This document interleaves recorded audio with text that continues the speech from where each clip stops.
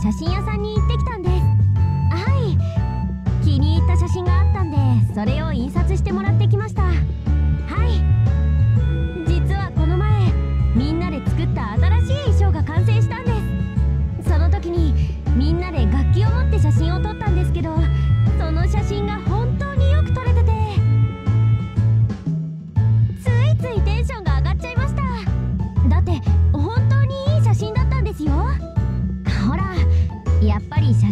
って自分で印刷するのと写真屋さんで印刷するのって綺麗さが全然違うじゃないですか。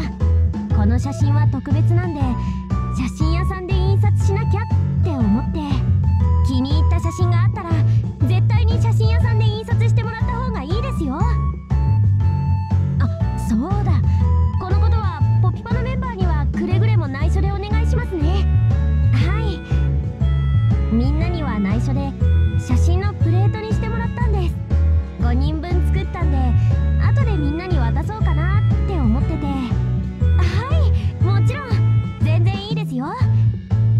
れじゃあ私の分を見せますね。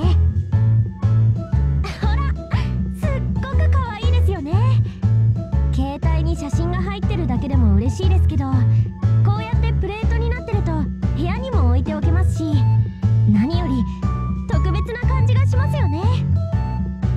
あそうだ。